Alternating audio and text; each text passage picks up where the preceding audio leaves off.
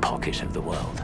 That's what you taught me. You're in town for the uh, Phantom Halo Yes. at the Austin Film Yeah, yeah, Festival, yeah. and where you co-star along some, alongside with some pretty big names in Hollywood, like Rebecca Romaine and a couple others. yeah, yeah.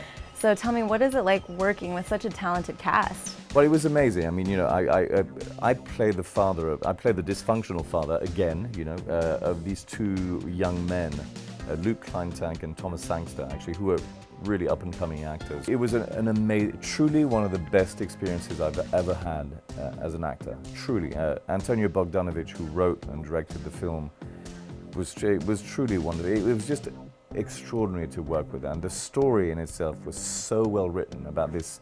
It's a sort of gangster story with a, sort of, um, a family background. Uh, this father, this dysfunctional father, uses his children. Beyond that, there's an amazing.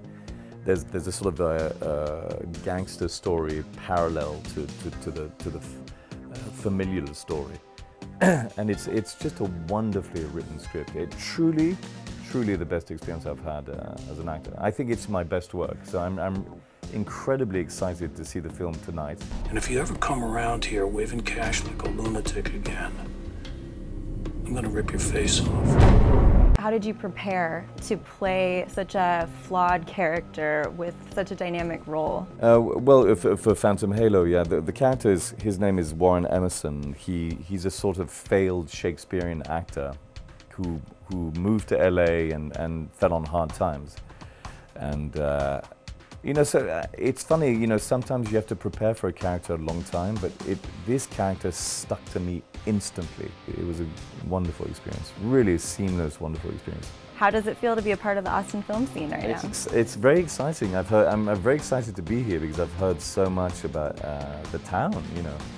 And everyone tells me you have to, you know, you have to go to Austin. It's the coolest town in, in, in the States. And so a lot of my friends actually who have moved from Hollywood, some pretty big actors have moved from Hollywood to, to Austin. And uh, they never look back. They love it. So I, I'm excited.